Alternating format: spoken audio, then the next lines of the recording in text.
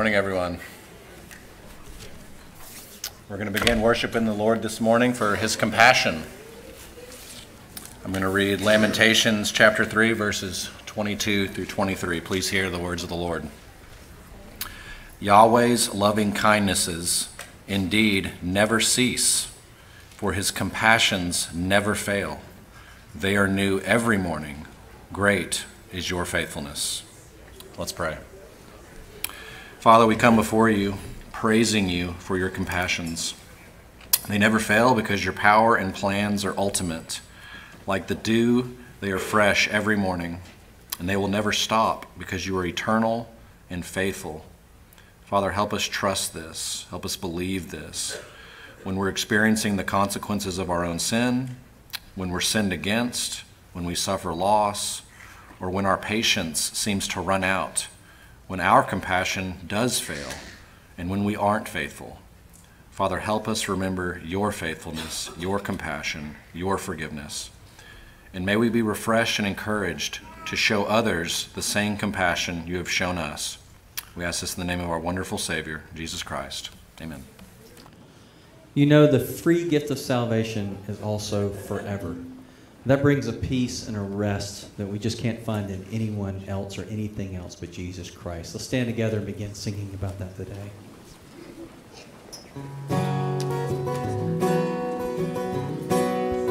Here we go. Oh, love that will not let me go. I rest my weary soul in thee. I give thee back the life I owe, that in thine ocean depths its flow may richer, fuller be. Oh, light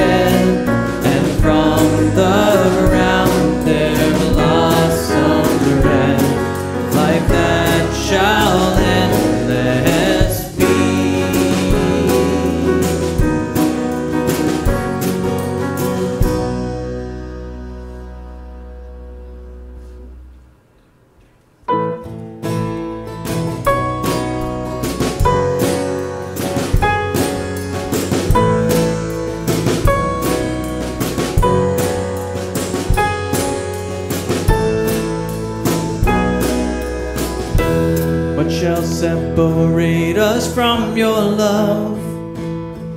Can years of sorrow break eternal bonds? Can condemnation never raise its voice against the pardon of the blood of Christ? And though our journey here is long,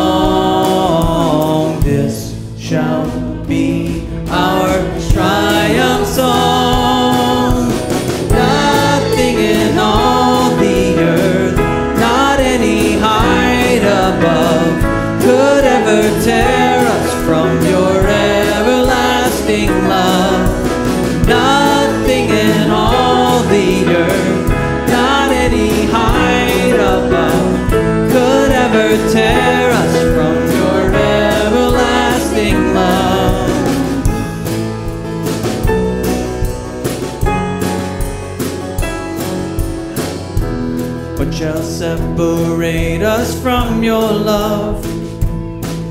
For now the sting of death is overcome. And all the powers of this world must fall before your feet because you rule them all. And though our journey here is long,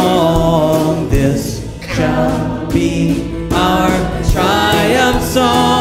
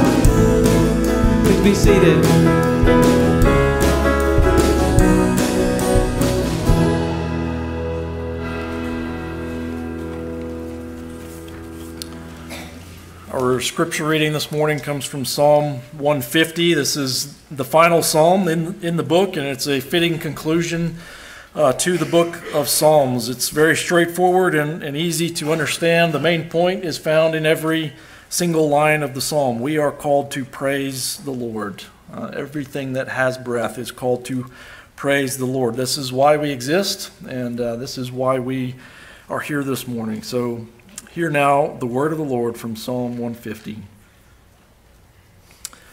Praise Yahweh. Praise God in his sanctuary. Praise him in his mighty expanse. Praise him for his mighty deeds. Praise him according to his excellent greatness. Praise him with trumpet sound. Praise him with harp and lyre. Praise him with timbrel and dancing. Praise him with stringed instruments and pipe. Praise him with loud cymbals. Praise him with resounding cymbals. Let everything that has breath praise Yahweh. Praise Yahweh. Let's pray. Father, we are uh, indeed gathered here this morning to praise your great name and to praise you for your mighty deeds. Lord, you alone are worthy of all praise. And as we reflect on how worthy you are, we are reminded of our own unworthiness. Father, we are sinful and prideful creatures, and at times we lose sight of your greatness, and we seek to praise ourselves, and we praise uh, the creation over the Creator, and we become consumed with temporary things in our own lives and our own comfort. Lord, we ask that you would forgive us and help us not to lose sight of your greatness and just how worthy of praise you are. May our eyes be fixed upon you. May we truly praise you uh, with all of our hearts, just as we were created to do. So, Father, we thank you for saving us, and we do praise you for who you are and for all that you've done. Help us now to respond to the preaching of your word with humility and faith. Lord, give us listening hearts so that we might be changed by the power of your word. Teach us wisdom as we learn what it means to fear you. And may our praise to you be holy and pleasing in your sight. In Christ's name we pray. Amen. Well, with next week being Easter, we can certainly anticipate celebrating the glorious resurrection of our Savior. But this week as well, we remember what led up to that and His great love, which moved our Savior to stand in our place once and for all. Let's stand together, please.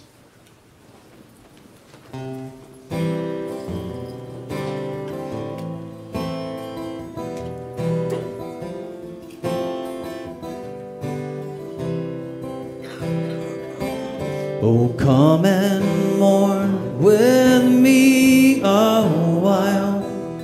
Oh, come ye to the Savior's side. Oh, come together, Jesus our Lord was crucified. Seven times he spake seven words of love, and all three hours his silence cried for mercy on the souls of men. Jesus our Lord was crucified.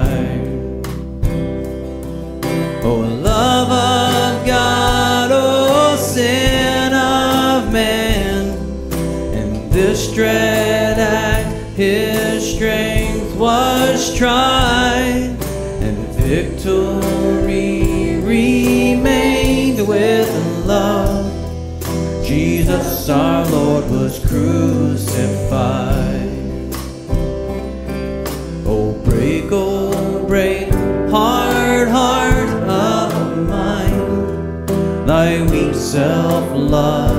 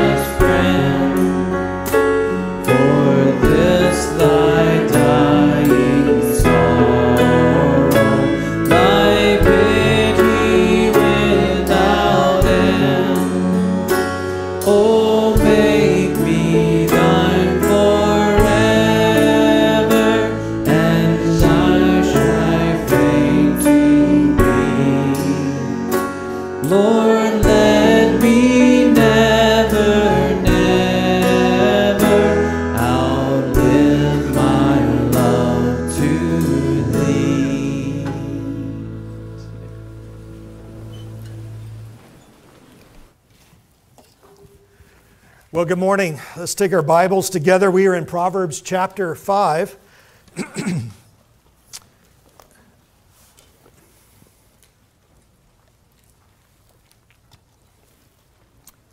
we are, as a church, studying together the book of Proverbs, and we're learning what it means to walk with the Lord in fear and wisdom. And that's not a fear of being afraid necessarily of God, but of to learning to walk with Him in, in reverence and worship, and how uh, His ministry to us through Christ, how His rescuing of us and His redeeming us that we've been singing about, celebrating today, changes everything for us and impacts our lives in every aspect of our lives. And we're going to see how that's begin, uh, going to start to take on new shape and form as we uh, get further along in our study.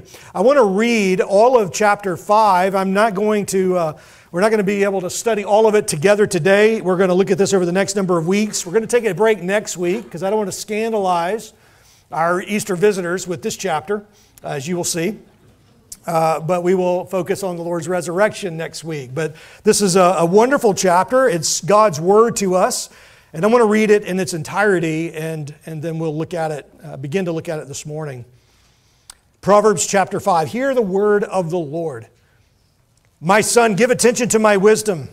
Incline your ear to my understanding, that you may observe discretion, and your lips may reserve knowledge.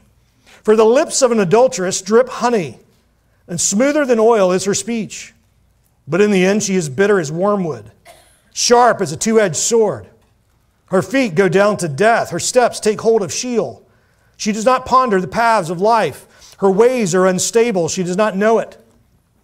Now then, my sons, listen to me and do not depart from the words of my mouth.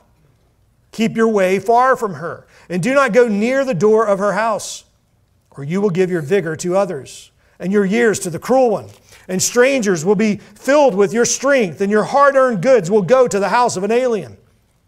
And you groan at your final end when your flesh and your body are consumed, and you say, How I have hated instruction, and in my heart it spurned reproof.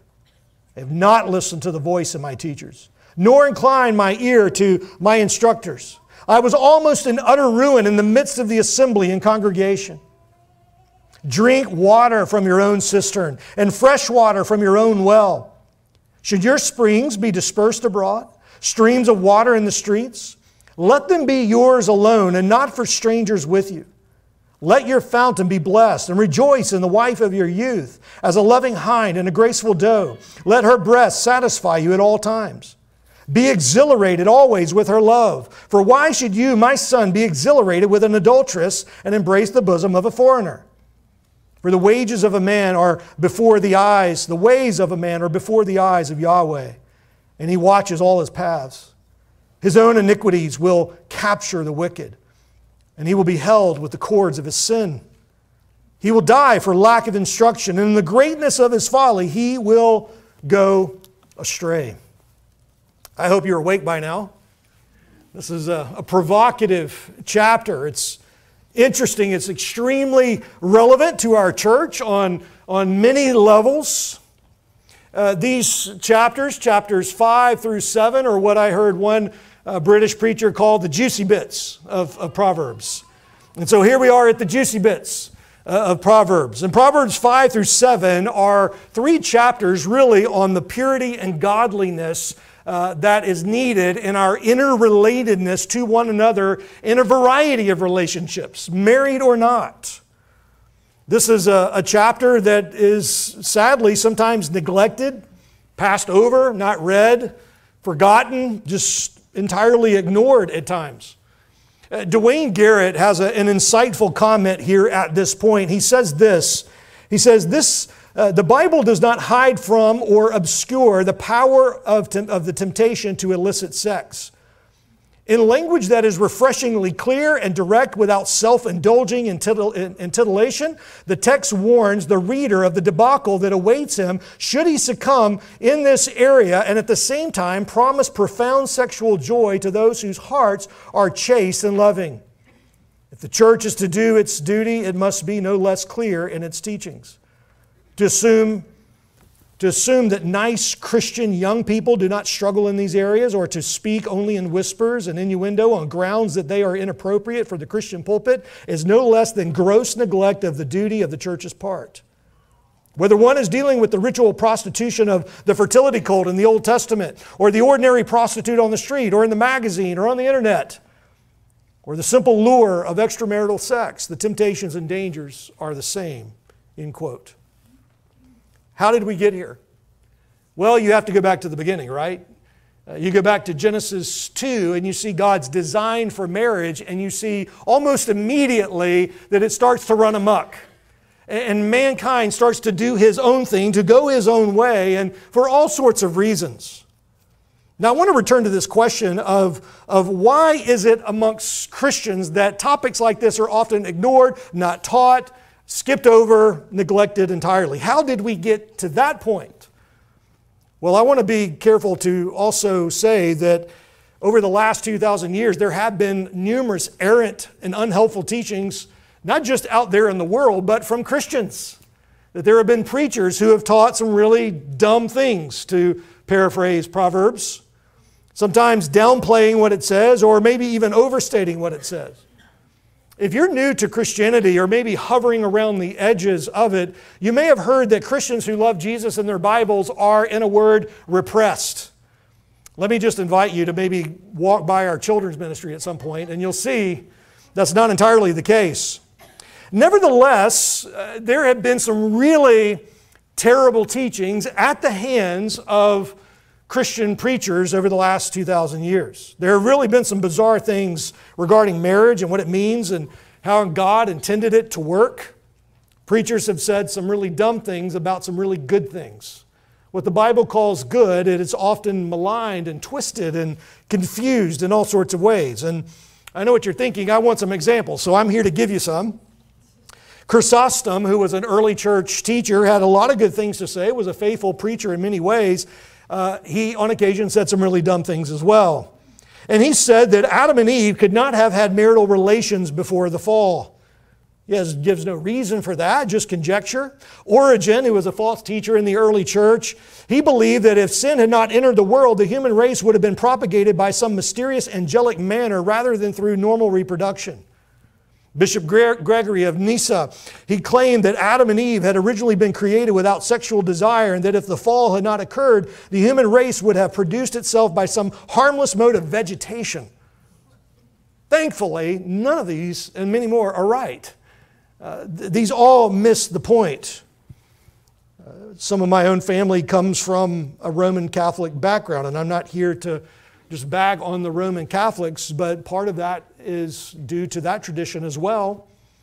The Roman Catholic Church believes in order to protect Mary's nature, which doesn't need to be protected, by the way, but in order to protect her nature in the ministry, she must have, uh, have been immaculately conceived. That is, without original sin. She never sinned. Not only that, some believe she never had any other children after Jesus, even though the text says something very different. It's also falsely taught that those who lead in the Roman Catholic Church must vow to celibacy, since that, they say, is the highest degree of perfection in ministry. I'm really thankful to be a Protestant pastor. Is errant, unhelpful teachings that have infiltrated the church and the traditions over the last 2,000 years. Other aspects of how we got here, there's also errant cultural expressions that ultimately seek to dethrone God. It's not only the things in here, we have to recognize as we're talking about marriage and relationships, we have to realize that there are also threats and there are challenges to that outside of the body of Christ. Ever since Genesis 2:24, humanity has thought that it could improve on or change or adjust God's design for marriage. What is Genesis 2:24? It's really the, the headwaters of God's design for marriage. Genesis 2:24 says that uh, uh, for this reason a man shall leave his father and mother and cleave unto his wife, and the two shall become one flesh. That was never overturned. That is not only for Adam and Eve, but that was to be upheld by all peoples in all places. That was God's design for the stability of the family and for the propagation of humanity, and as we're going to see in chapter 5, even the enjoyment of husband and wife. And yet, nevertheless, and the Bible doesn't hide these details, almost immediately after that is put in place by God Himself, man starts to rebel against that. And we have patriarchs in the Old Testament trying to pass off their wives as sisters, not once, but twice. We have others taking on multiple wives, even though Genesis 2:24 again says, one man, one woman, together, one flesh. All of that is there. And there are endless challenges that go on and on all throughout history. In the place of God's design for marriage is not just a, a patchwork system by which we can move the parts around the way we choose. What's really happening here is a replacement ruling philosophy that really springs from the heart. And it says something like this I will do what will make me happy. That becomes really the ruling desire. Even one atheist secular critic said that the God of our day is the self. Carl Trueman, who is a faithful believer, he is correct. He says this He says, Here's what's going on today. Expressive individualism is the default setting for understanding ourselves in the 21st century. Expressive individualism. In other words, the individual, the self, is king or queen. They are the ones who make the rules. They are the ones who set the parameters. They are the ones who say, I will do what I want to do, and no one can say anything about it. Trueman explains that what this means today is that, quote, the individual's inner identity is defined by sexual desire. And when this is the case, then he or she must be allowed to act out on that desire in order to be a so called authentic person. He's not defending that. He's saying this is the ruling philosophy of our day. And, and this is true. We see this everywhere. Jesus himself, again, upheld the design of Genesis 2.24. He once got into a debate. It was really a lopsided debate, but in Matthew 19, because he wins, in, in Matthew 19, uh, when he's questioned about issues of divorce and remarriage, he upholds Genesis 2.24. When the Apostle Paul is teaching on marriage and the family, he is quoting in Ephesians from Genesis 2.24. There's all of those kinds of things. There's the errant assessment of leaders in the church. There's the errant cultural expressions that seek to dethrone God. There's also, and here's probably the most, uh, sometimes the hardest to see in all of this, it, it, it could be the errant assessment of the human heart. In other words, we don't see things as we should when left to ourselves. You, you do understand this, right? That there is always another lens at play here from a biblical standpoint. In other words, if you are a scientist and you go out in the yard and you look through binoculars or through a telescope and you look up at the skies and you, and you want to make observations about that, or you go into a, a lab and you look through uh, something else and you're, and you're seeing something in, in a microcosmic way, not just the cosmic way, what you often don't understand is that there is another lens by which you're looking through, and that is the lens of human fallenness and experience so that we don't see things as we should. That, that, that's, that's actually a bug in the system. That's not a feature. That is a result of the fall of Genesis 3. So we don't assess things rightly. We don't look at relationships rightly. We don't look at marriage rightly. We don't, we don't think about love in the right ways. We don't think about it in the way God has told us to think about it. We don't assess things rightly, whether we're looking at a telescope or through a microscope, much less looking at relationships so we have the errant assessment of the human heart. And the only thing that reveals that and redeems that is the grace of the Lord Jesus Christ when we are given new eyes to see. We come back to Scripture and we say, What has God said about this? Has He said anything? One area where Christians, many Christians, are wrong in this kind of assessment is they think that the moral morass of radical feminism or internet and technological porn or the onslaught of pop culture. Those are the reasons, those things out there, those are the reasons why things are so crazy in here at times. But here's the problem with that. If we're not assessing the human heart, if one believes that all the threats are external, let's say out there, then that will lead many believers to pursue changes that are only external and out there you will foolishly believe things like American morality turns on the, the whims and the decisions of a Supreme Court. It doesn't. Uh, you, you, would be mistaken if you believe that. You will mistake at times the, the mission of God to change hearts for the misguided venture of trying to change the culture. That's a faulty mission. Some Christians have believed that. There's a, a, a, rebirth and an onslaught for reasons I don't fully understand. It was, it was dumb the first time. But Christian nationalism that confuses uh, the mission of the church for some other mission, which is, other, which is really worldly at heart not biblical. If you think that the problems are out there, they're culturally related, they're in the mechanisms and the, and the structures of society and those kinds of then that's going to be your main focus. But what Solomon is driving at here, and what God's word is constantly pointing to, is we must address the level of the human heart. Why do I believe the things that I believe? Why am I following my desires, good, bad, or seemingly indifferent? In the context of Proverbs chapter 5, it comes at a point that for a good reason, Solomon has already established a biblical foundation for knowing and fearing God. Uh, as we always say, chapter 5 or any chapter comes at a particular point for a particular reason. And what has Solomon been doing? In the first four chapters, laying a very careful foundation for how we think, how we worship, how we move, how we assess everything in God's creation and even in our own hearts. And it should not be controversial by the time we get to Proverbs chapter 5, at this point, to say some very definitive things because we are resting on not our wisdom, but God's wisdom.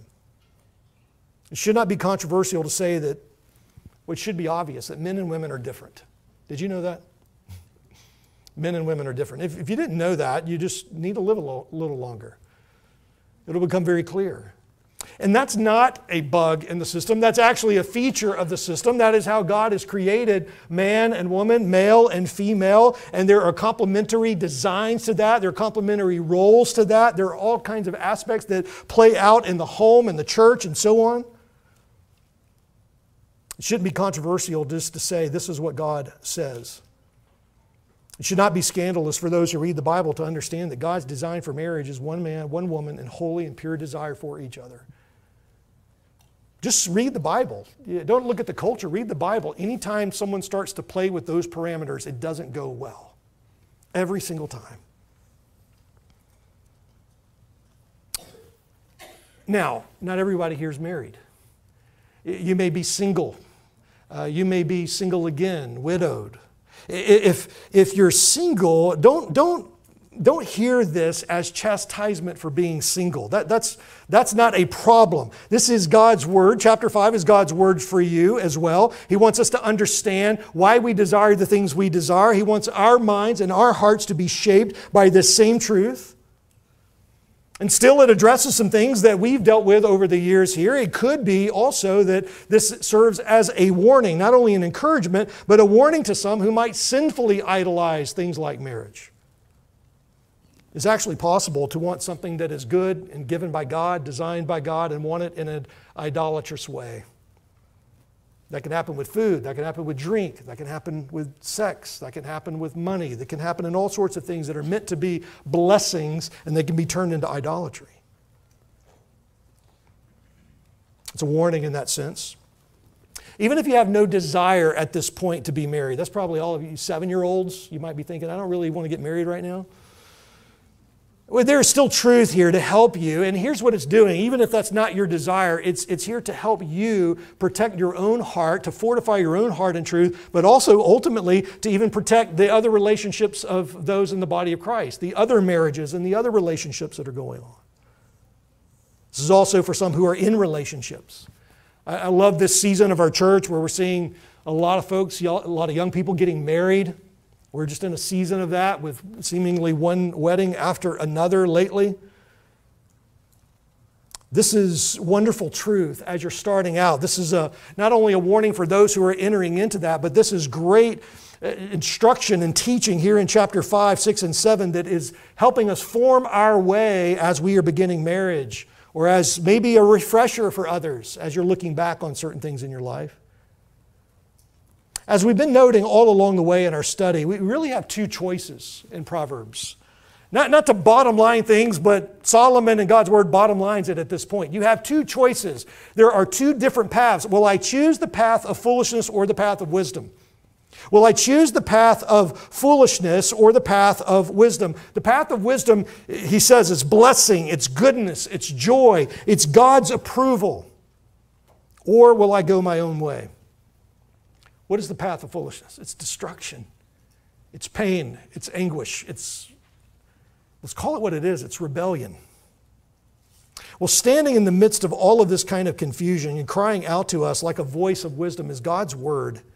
And here, as we now draw our attention to chapter 5, and we're going to look at the first six verses here if you kind of just look over chapter 5, you'll notice, and maybe it's broken up this way in your Bibles and your translations, that there's really a, a four part structure to this. There's four paragraphs or, or stanzas. And, and the outline that I'm going to give you here is really one that I was taught by numerous mentors to me and don't feel like I can improve on it in any way. But there are four stanzas in chapter 5, and each one points to a vital consideration that, that each of us must understand. Solomon is saying, You must know this. Again, think of the context. This is Solomon talking. And he knew this from the Word of God, but he also knew the pain of this from not obeying and following the Word of God.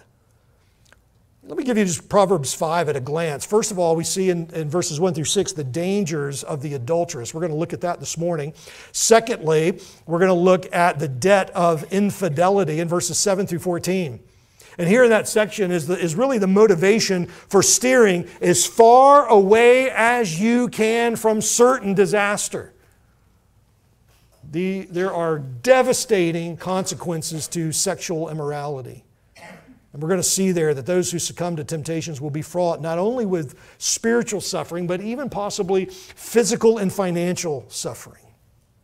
It's not all bad news. It's not all negative. We're going to see number three in the third stanza, verses 15 through 20, the delights of marriage. Not all is negative here. Solomon enjoins the reader to consider the beauty of God's design by physical expression within the bounds of marriage and as God designed it. Marriage, as we're going to see here, it's not reduced to mere reproduction, but there is enjoyment in this. Fourthly, we'll see in verses 21 through 23 the discipline that is needed to break the bondage of such sin. A lot of times, uh, it seems that Christians are, are fighting uh, mammoth temptations and sin with really small weapons. With, with, with really inadequate understanding and teaching and instruction. It seems like some are trying to fight decadence with just more decadence. But we don't fight sin and temptation with something that is, that is, uh, that is really a thin veneer of a response. In fact, we don't respond to such overwhelming and weighty decadence and sin and temptation with things that we might call conservative values. You don't fight satanic decadence of this magnitude by wrapping yourself in the thin veneer of red, white, and blue. Biblical convictional worship of the one true God is our only hope. That's it. It's not a restoring of something in the structures of man. It's not turning America back. It's not wrapping yourself in this or that uh, cause or banner. It is returning in biblical convictional worship to the one true God who has shown himself in the person and work of Jesus Christ, who walked this earth, who died on the cross, who was raised for us, and is coming back for his church. Outside of him, there's no hope. Outside of him, that is the only hope for your marriage for your potential relationships, for your current relationships, how God wants you to think, how God wants you to respond. Breaking the bondage of sinful enslavement is only found in knowing God, dwelling on the reality of His supreme greatness. In verses 21 through 23, they, they, they look at each, these verses look back at us and, and they ask a question Have you considered the ways of Yahweh? Do you understand that He sees everything? Do you think we have him fooled? Do you think that our secret sins, our secret pursuits, those places, those corridors, those hotels, those internet sessions, do you think he doesn't see that? That's what he's going to talk about in that last stanza. Well, this morning we want to look at the first of these. It's the dangers of the adulteress. The dangers of the adulteress. Look back again at verse 1. Solomon says, My son, give attention to my wisdom, incline your ear to my understanding, that you may observe discretion and your lips may reserve knowledge. This is largely a repeat of things that we've seen over and over again in the first four chapters. But we're reminded again that what follows here is not just some useful info for us to tuck in our pockets and say, that's interesting. If I ever come across that, I'll, I may consider it. No, what we have here is not something that you can take or leave. This is biblical wisdom. And what we find is that sinful responses and approaches to marriage means that Christians have not been immune to deviations from God's design. Our church, over the years, just like any healthy church, has experienced all sorts of deviations from God's ideal for marriage. Christians have been misled, abused, neglected, scammed taken advantage of in all kinds of ways. Ways that even this chapter details, painfully so. Uh, but notice here, Solomon says four things in these first two verses that you want to just remember here. Again, we've seen all of this before. The first thing he says there is pay close attention. Pay close attention. You might think this is not for you. You might think marriage is a long way off in the future. You might even think uh, overly negative about this and think, well, it's too late for my marriage. That's not the case either. Pay close attention. You're going to see hope here. Secondly, he says, position your ear to listen well. Position your ears to listen well. You know what that means? It means to listen with the ear of obedience. I want to hear what God's word says, and then I want to respond with obedience. I, I, I, don't want to rebel. I don't want to push against God. Because that never goes well, right? Third thing he says there in his first two verses hold fast to biblical discretion. What is this? This is really uh, another word for self discipline. It's not only enough to, to hear and to hold fast and to think about these things and, and to even meditate on them, but actually to put it into practice self discipline. We've talked a lot about this. This is not just a pull yourself up by the bootstraps, do it yourself kind of Christianity. This is a self discipline that is wrought in the grace of God. God changes your heart, He sets you in a new place, He has redeemed you, He changes your nature. You have the indwelling of the Holy Spirit. He has given you everything you need to live your life in a way that is pleasing to Him if you're in Christ. And so the, the tall order, seemingly, of this chapter is really not a tall order from God's perspective. It's actually what God expects of His children. Hold fast to biblical discretion. Last thing he says there, let your lips reserve knowledge. Let your lips reserve knowledge. What does this mean? It refers to growing deeper and more intimate with the subject before us. Have you thought about these things? Surely you have. Have you meditated on these things about your own marriage and the relationships of others and our church? And how can we come alongside those that are struggling? How can we counsel and disciple? How can we encourage those who, who seem to be tripped up in, in all manner of ways? The bottom line he's saying here in these first two verses is that you and I need wisdom on these matters. Do you believe that? We do, don't we? Chapters exist uh, like this exist as a warning for some before anything gets started. That's why this chapter is here. That's one reason why it's here. Before you go down the paths that are described here, this is a warning for you. Don't entertain it. Don't go down that road. Don't uh, pull up now. Don't run through that red light that he is uh, putting here before us. For others, it might be a call for repentance. You've already started traveling down some of these roads that are described here. But not only that, it's also a call for hope, a reminder of the hope of the gospel. Because in a church like this, this is true at all times, it always has been. There are any number of people who've been on the giving or receiving end of abuses, of mistreatments, of scandal, of scams and you need hope. Again, there is no hope outside of Christ. I love the hope of the gospel on matters like this because we've seen this so many times. If you've been around Christianity long at all, you've seen this too that God takes those who are used, those who are abused, those who are forgotten, those who are rejected, those who are misguided. And what does He do? He redeems them with the hope of the gospel. He gives us His Son, Jesus Christ. Man will disappoint us, uh, woman will disappoint us. Children will disappoint us. We will be endlessly disappointed in one another for any variety of reasons, and we'll never run out of reasons for that unless we recover the hope of the gospel. And then we see the hope that is there even in those relationships between husband and wife, and friends, and brothers and sisters in Christ, and children. God loves to do that. He loves to redeem. That is the history of our Bibles. That is the history of Christianity and the nation of Israel. But that's what he's saying here in the first two verses. Look at verse 3.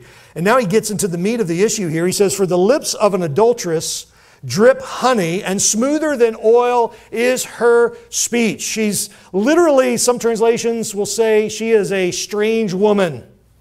Could be, not necessarily how you might think of that. You've, we've all encountered, we've all been to Walmart encountered strange women, right? That's not what he's talking about here. He's talking about uh, an alien and a foreigner. And, and even then, not what you might think about an alien or foreigner. Here we're in Huntsville. You might think alien up there, or you might think alien across the border. That's not what he's talking about here. By alien and foreigner, he's actually reaching into his own background and what the Lord warned him of, and that is if you turn from the Genesis 2:24 design and you turn your heart to foreign women, he was warned about this and he did it a thousand times over. By turning to those foreign women, it wasn't just that they were of a different ethnicity and that that was the problem. That's not the warning. It was that they were not fears of God. They didn't know God. They didn't worship Him. And so he was warned that if you go with them, they will turn your heart away from the Lord. And guess what happened? God was exactly right. They, they turned his heart away from the Lord. He's still culpable, he's still responsible, but God warned him about that. The lips of an adulteress, this strange woman, he is under the influence of those who will turn their heart away from God. And he's starting, he's warning his sons, starting to go down the path of this of believing a lie here. Another way to think about this too is that this also refers to one who is outside of the marriage covenant. So she's she's not only a stranger out there who might turn the heart as an unbeliever, but she's also a stranger to what is a bond and a covenant between a husband and a wife. So she should not be allowed in the midst of that covenant. There should be no break in that. It's very interesting as you read Genesis Adam knew his wife and the, and the intimacy and the language that is literally used in those texts, or, or the intimate covenant language of knowledge. And then it says, and then Cain knew his wife. And then it jumps to Lamech, and it says, Lamech took two wives. Very interesting. It departs from the covenant language. You, you might think, well, the Bible kind of turns a blind eye to uh, multiple wives and all those things. Not hardly. You got to pay attention to the details. In fact, it's a, it, it, it, it sets aside the covenant language that was used there and was to be upheld. And immediately he turns to his own sin. There's two songs in those opening chapters of uh, number of chapters of Genesis. The first song in the Bible is Adam singing about the joys of his wife. It's poetry.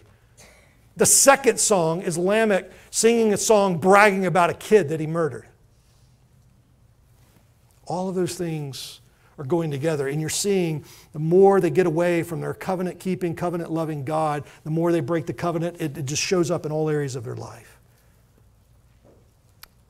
I didn't mean to divert that far out. But here we are. The lips of the strange woman, the adulteress, the foreigner, the alien, it drips honey. Now, we've been introduced to her earlier. If you look back over at chapter 2, flip back over there for just a, a quick second. Chapter 2, verse 16, that uh, Solomon was saying, and he just, she just kind of makes a quick entrance there. Now, this is really, this chapter is the exposition of her, talking about what she's like. Back in chapter 2, verse 16, Solomon's writing that wisdom will deliver you from the strange woman, from the adulteress who flatters with her words. That's how it starts. She leaves the companion of her youth, forgets the covenant of her God. For her house sinks down to death, her tracks lead to dead. None who go to her return again, nor do they reach the paths of life. Two things are being recognized there in chapter 2, and then now here again back in chapter 5. It often starts with the allurement of words, doesn't it? Empty, hollow, vacuous words. Her lips, he says, he pictures it this way they drip honey. The, the sweetest thing that you could taste in ancient Israel was honey. And we have our own concept of that. We have the glorious common grace of Snicker bars and chocolate and things like that. But if you wanted something really sweet in ancient Israel, it was going to be made with honey. And in fact, in the Mediterranean region today, most desserts are still made with honey. Those are the sweet things. And, and he's saying that her words are like the sweetest thing to your taste. Not only that, her lips are, are smooth. Her speech is smoother than oil. The smoothest substance that one could handle in that day was newly pressed olive oil. It was used for everything. The, the, viscosity was, was very thin and satiny, and, and it would be used on weapons, it would be used in the kitchen, it would be used in medicinal ways.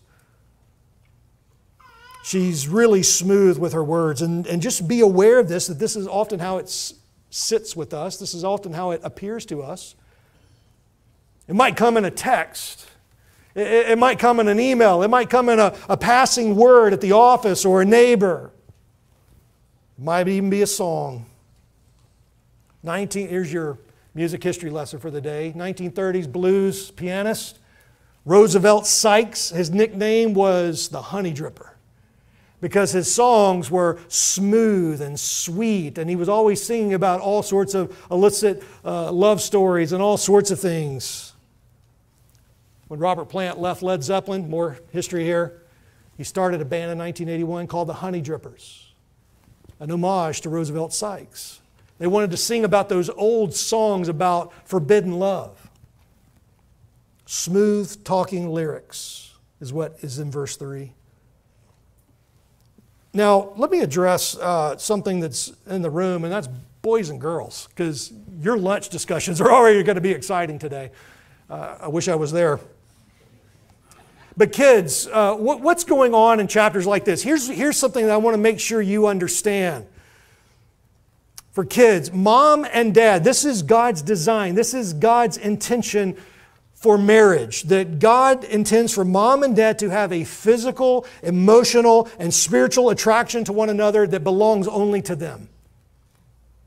No one else is to share that. No one else is to invade that. No one else is to come between that. Not even you, that you are a blessing to that household. The neighbors are maybe great neighbors. The friends at work are maybe great friends. And, but that is a special union that belongs only to mom and dad. That's essentially what he's talking about here. He's talking about that in a lot of other colorful ways and, and different things that moms and dads understand here. But you need to understand that we want to protect that. We want to pray for our parents. We want to encourage that where we see it. But notice how it comes. Those who might want to invade that kind of relationship, it often comes with words.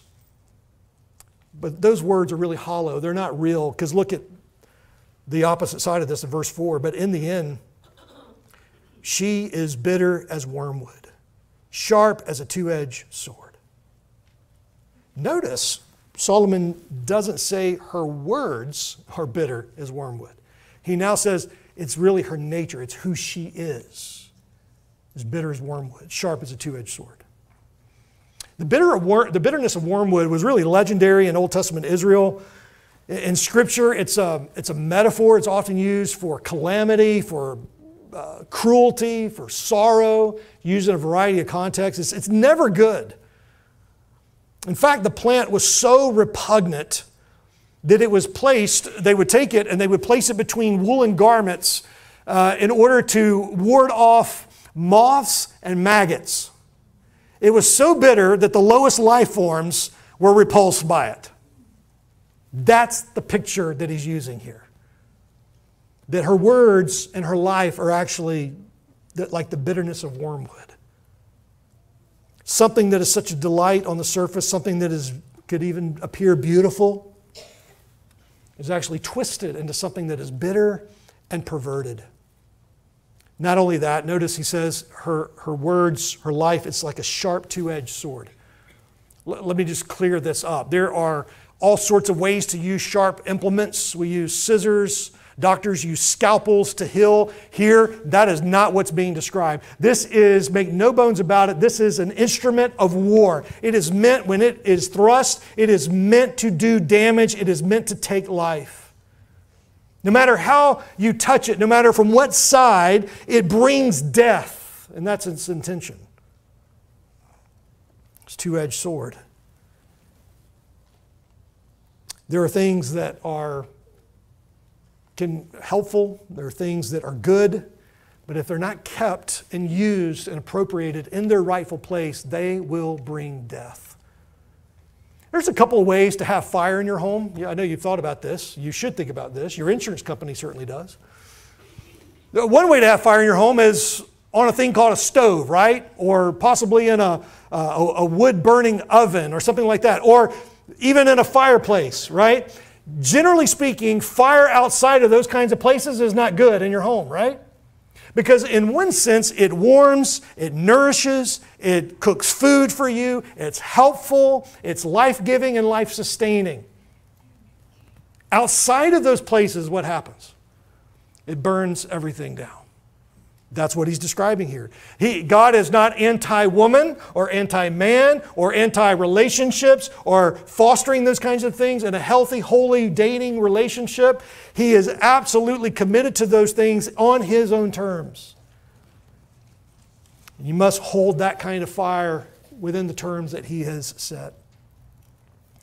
Verse 5, it just gets worse. Her feet go down to death, her steps take hold of Sheol. Note very carefully that the consequences are not merely temporal, they're eternal.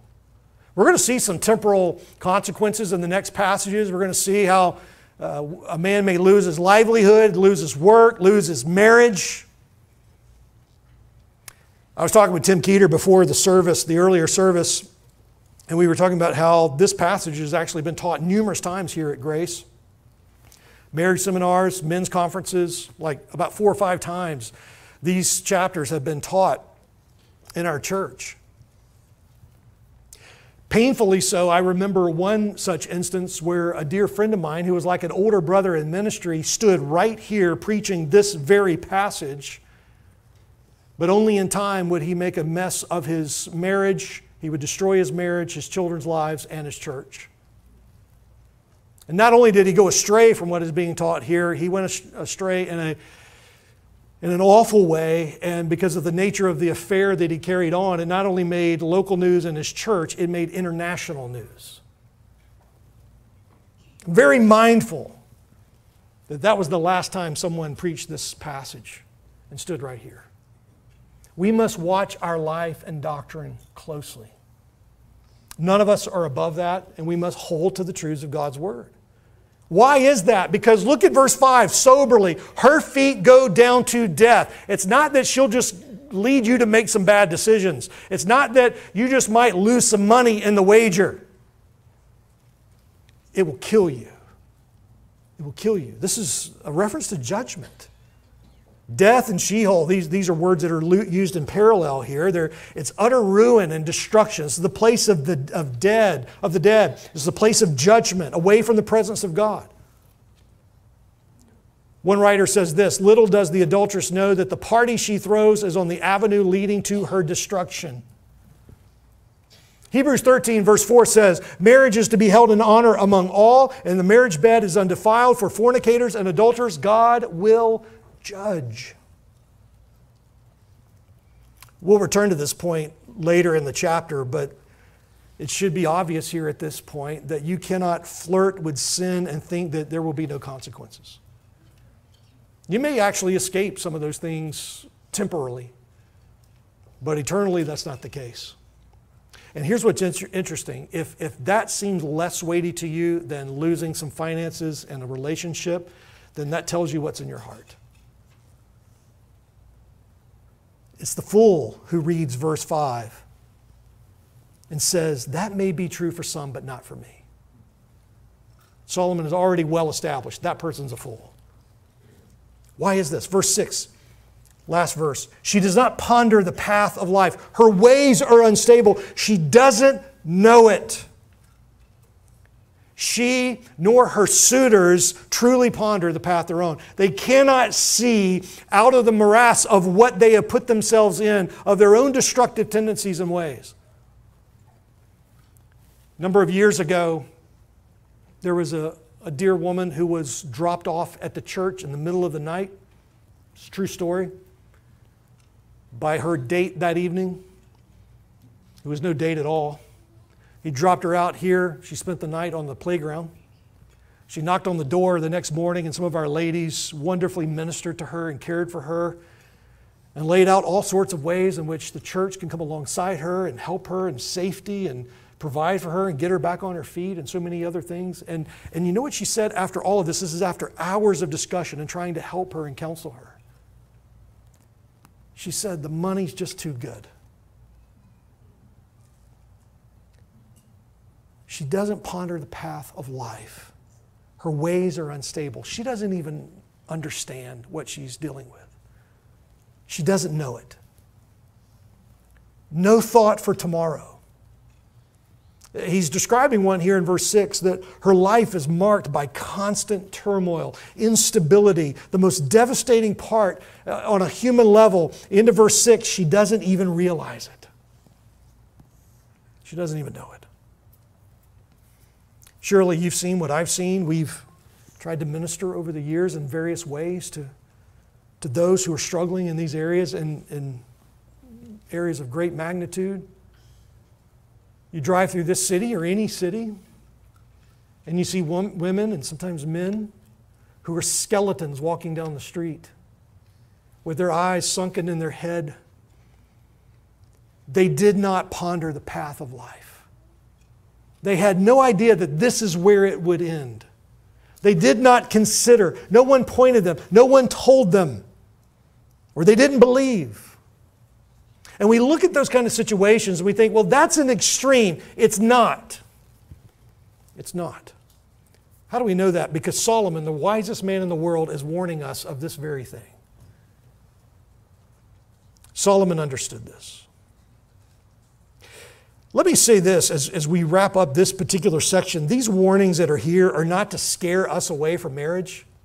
If you're thinking about marriage, contemplating marriage, and dating relationship, it's on the horizon, you're trying to think about these things carefully, It's not to scare us from marriage or to become even overly critical of the opposite sex. That's not what is intended here. The warnings exist in Scripture in order to clear the path to see the goodness of God's design. Whatever our relationships may be, we need to remember, and this is really important, this is Christianity 101, that that other person in that relationship with you, that husband, that wife, that child, that friend, they are a sinner just like us. C.S. Lewis, kids, you might remember this in The Lion, the Witch, and the Wardrobe. What, what does he call the, the children? He, he calls them sons of Adam and daughters of Eve. You know why? Because we take after them.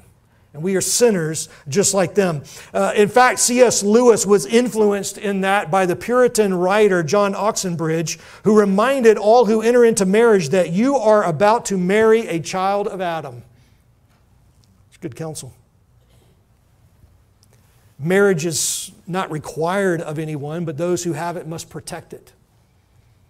Those who don't have marriage must also respect it. Where marriage does exist, it is a mercy of God and a gift to be cherished. Where it doesn't exist, it is to be prayed for, sought biblically, thought through carefully with wisdom and leadership and instruction. Where it does exist, let us help one another, encourage one another, protect each other to see God's mercy in that. Another Puritan, you thought they were all repressed, Richard Baxter. He says, It is a mercy to have a faithful friend that loveth you entirely, to whom you open your mind and communicate your affairs. And it is a mercy to have so near a friend to be a helper to your soul and to stir up in you the grace of God. It's beautiful. Another Puritan, Daniel Rogers, he said, he says, what marriage is, is the interworkings of mercy and providence. How God, and at this point in the earth, over 8 billion times can take two people and bring them together in this way. Mercy and providence, he says, made their match, to which we say, God hath determined us, wife, out of this vast world, each for the other. It's like Humphrey Bogart. Out of all the places in the world, you walked into this one. Out of all the 8 billion plus and ever growing people in the world, the Lord's design is He still has someone for you. Should that be your desire? Should you come to God on His terms with this? Ultimately, it's a reminder of our need for the gospel. I want you to hear this above everything else above all the noise of the culture, above all the confusion maybe that you've been taught over the years or you've heard in different ways. God is deeply merciful to those who turn to Him. God loves and knows how to meet your needs as a married person, maybe married to an unbeliever, maybe a single person who's struggling in different ways, maybe as a, as a widow. God knows how to meet needs. He knows how to restore broken marriages. He knows how to care for the brokenhearted. He knows how to rescue us from the messes that we make. How do we know that? It's right there for you to read.